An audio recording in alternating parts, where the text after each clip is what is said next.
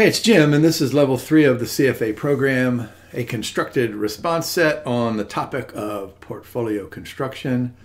Our focus will be on learning module one, overview of equity portfolio management. There are the four LOSs that we'll cover. I probably don't need to remind you of what the roles of equities are in an overall portfolio. We've been doing that since level one. Um, segmentation of the equity manager's investment universe. Remember, this goes back years and years and years. We can segment by size and style, we can segment by geography, we can segment by economic activity. And then inside of each of those segments, we can use, you know, factor-based analysis or thematic analysis or a bunch of other stuff types of income and costs. Our focus will be on trading costs. Remember, we've got management fees, administrative fees, we have marketing and distribution costs, and we have trading costs, not least of which is the bid ask spread out there. And so the last part of that LOS will address the potential effects on portfolio performance.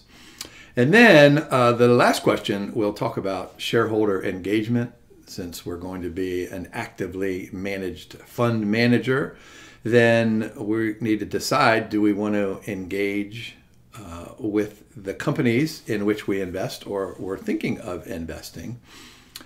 Um, my take on this is really just a trade off you know, a shareholder wants to become active, that's probably a signal that the firm is not performing the way it wants to. So the big benefit, of course, is accountability. But the cost is that, you know, a lot of people do this, a lot of investors do this just to get their names in the Wall Street Journal. Uh, sometimes it's a waste of time. So, like we have uh, uh, all the time, it's uh, it's a trade-off. Let's go ahead and begin this case by looking at the questions first, and then we'll get to the details of the case. So, question one. Uh, let's see, fund's primary objective, which we don't know yet, we'll be told that in a minute, determine which of the three investment options would be most appropriate. So, what we'll have to do there is we'll have to link you know, some kind of an objective, whatever that is. And let me go back here real quick. You know, types of income. You know, so do we want lots of dividends? Do we want capital appreciation? So we'll have to link that with whatever those three options uh, might turn out to be. Question two, uh, which of the three segmentation approaches? So I just did that uh, just a second ago. Uh, most critical cost factor for question three, then we're going to have to justify our answer. And then following benefits are most important. So think about this. Sounds to me like I just went and uh, gave you a good summary of this learning module one with these four LOSs and then a review of these four questions. And that's probably true, but uh, let's be careful. What we don't what we don't address in this recording is the uh, relationship between you know the equity portfolio and benchmarking. So what I want you to do as soon as this uh, recording is over, I want you to go to the end of this learning module, and I think there are 11 or 12 questions. The first, you know, eight or nine we pretty much cover, but then the last one is on benchmarking. So I want you to do that. So you'll cover the uh, cover the entire learning module. All right, you ready? So here we have Avalon Asset Management, new product, Avalon Global growth fund. If I were taking the exam, I might circle the word global there and I might highlight uh, the word growth. All right, billion dollars. So we're not a small, uh, we're not a small investment firm. Primary objective is all right. Here we go. Aggressive capital appreciation over a ten-year uh, horizon, targeting high growth companies across global markets. So that sentence or two right there, I think that's key in answering at least one of the questions, if not uh, if not a handful. All right, so here are those three investment options to form the core of the portfolio. Remember, this is not the entire portfolio, but just, just the core a basket of emerging market tech stocks. So, what do we know about tech stocks? They're probably high growth. What do we know about emerging markets? There's probably lots of risk, but they're probably uh, high growth. So, we're probably not going to get too many dividends out of that. So, let's go back here. What does this say? Aggressive capital appreciation over a 10 year horizon. Well, that's probably the correct answer there. How about this? A selection of developed market pharmaceutical companies you know, a couple of things there, right? Do we want the core to be, I mean, let's go back here. We're not calling this the Avalon Global Growth Pharmaceutical Sector Fund. So maybe, maybe selected uh, pharmaceutical companies with promising drug pipelines. That sounds like uh, something that has high growth, but it's probably on the periphery. We don't want to focus on that because of the, uh, you know, systematic versus unsystematic risk, all that good stuff that we've talked about. And global renewable energy companies uh, have a couple of things to say about that. I'll, I'll, I'll wait until we get to, uh, to the question. All right, here's the question on segmentation. So we're going to have to link the segmentation choice with you know who invests in our fund. So we're told up at the top there young professionals in their 30s that doesn't sound like me. I'm not young. I don't even know if i'm a professional. Clearly i'm uh, i'm twice that in my 30s uh, high risk tolerance. So that's probably a key there. So that links remember i used that term link? That links back to what we were saying with the goal. All right so what are our choices here Traditional market cap segmentation, small, mid, large cap. Factor based segmentation, ah, value, growth, there's that word growth again, quality, momentum, or some kind of a theme there. Clean energy, which we talked about just a second ago, and then biotech. Ah, recent market volatility. Fund has been averaging 150% annual turnover. When I take my students to, uh, we have the Morningstar software in our finance trading lab, and every semester in investments, I take them to Morningstar, and we do all sorts of fun stuff. And we find a fund that has 100% annual turnover. And I say, what does that mean? And I get some good answers out there, but I say, this is what it means. It means that if you have a fund that has 100 stocks, at the beginning of the year. And at the end of the year, that fund has 100 stocks, but every one of them is different. That's 100% annual turnover. So 150% annual turnover. I don't even, I mean, that's like so far out there. So that's, uh, uh, that's significantly higher than its peers. We're not surprised to read about that. Let's see, we use some in house research and external services from three major investment banks. Now, we don't talk about this in this particular recording, but you know, using third party services out there, remember that we're obligated with the code and all those professional standards, somewhere in there, we're obligated when we hire this third party out there to make sure that they do all the same kind of stuff that we do uh, inside, that they can be trustworthy and accountable and honesty and integrity and all that good stuff. Now, I, I guess, I'm guessing from our choice of three major investment banks, that that probably takes care of all of that stuff. But don't be surprised on the exam if you get a question where, we're using three major investment banks, and then we're also using, hey, Jim's tiny bank over there, and we don't know anything about Jim, but we think he's good, but who knows what the heck Jim is doing over there. We're also considering implementing uh, artificial intelligence, hefty licensing fee, so we're worried about uh, we're worried about those costs. Uh, shareholder engagement so the fund manager is unsure how to balance. So this is why I did the uh, the trade-off thing earlier. Aggressive growth mandate and high turnover strategy. All right, so here are the four questions again. Let's go ahead and start with uh, question one. Determine which of the three investment options would be most appropriate. And I think I gave you kind of a signal about which one uh, which one we like.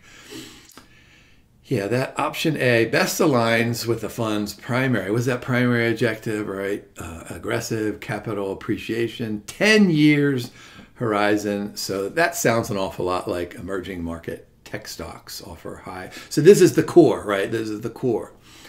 Um, why are B and C probably less appropriate here? Notice that our uh, constructed answer, it does offer growth potential, but it's in the developed markets. So there's more moderate growth. So we could probably find higher growth in these emerging markets out there.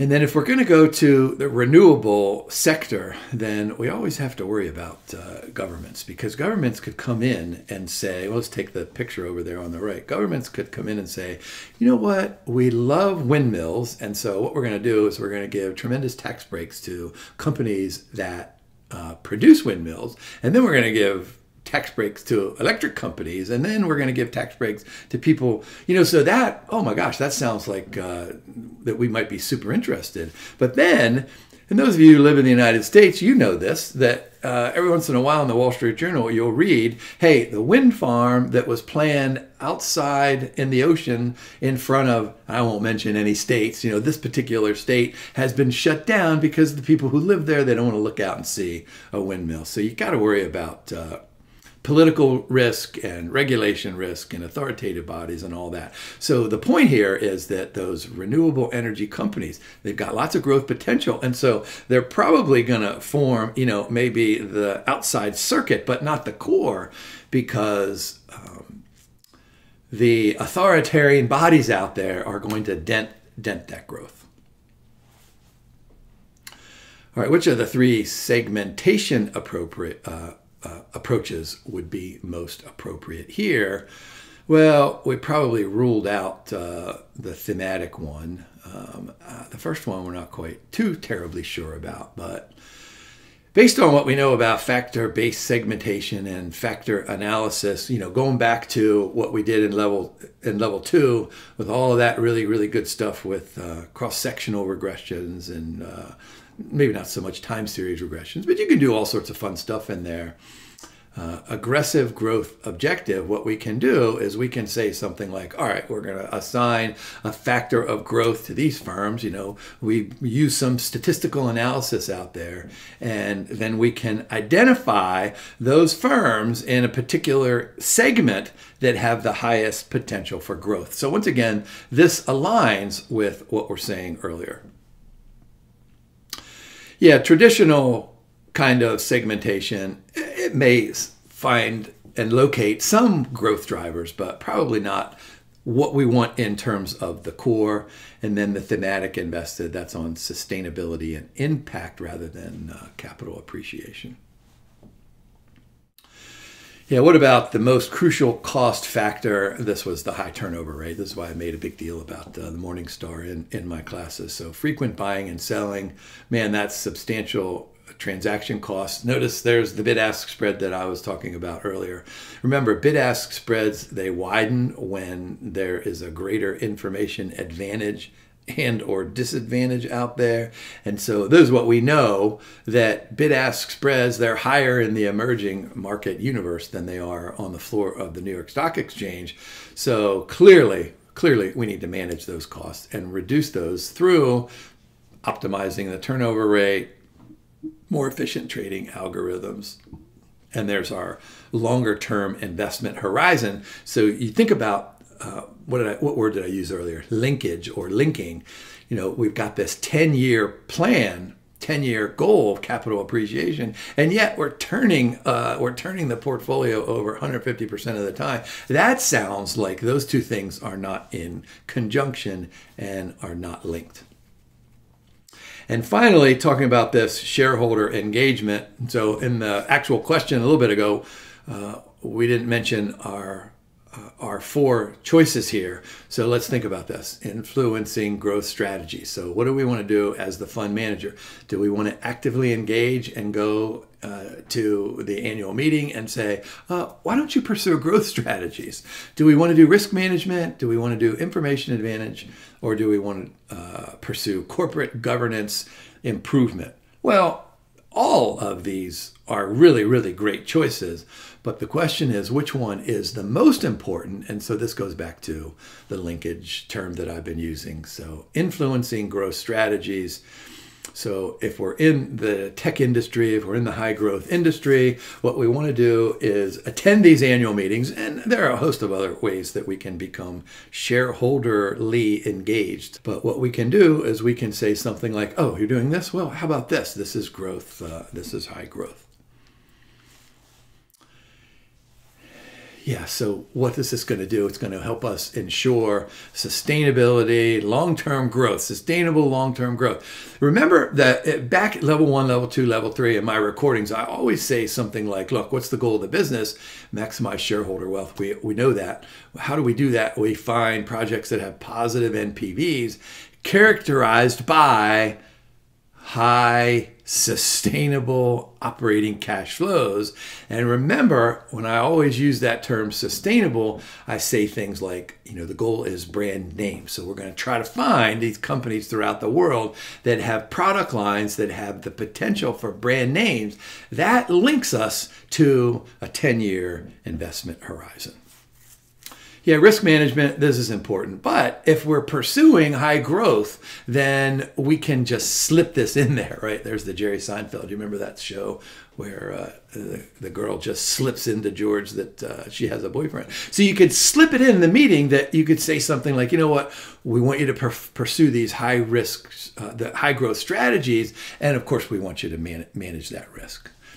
Uh, information uh, objective, that's probably for uh, strategic growth uh, initiatives. That's important, but that's going to be another slipping in. And corporate governance, what do we want? Well, you know, we want efficiency on the board of directors, so we want lots and lots of highly qualified experts in their field and tertiary fields, so you know they can add value. I mean, you've heard me say that before in the in our board of director conversations that we want a board that comes from lots and lots of different backgrounds, but every individual has to add value. And so it's a marginal cost, marginal benefit kind of a deal.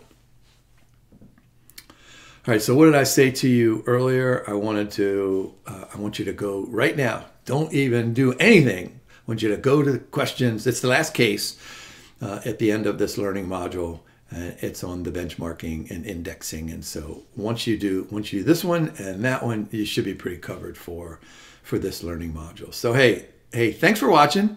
Have a great day. Good luck studying.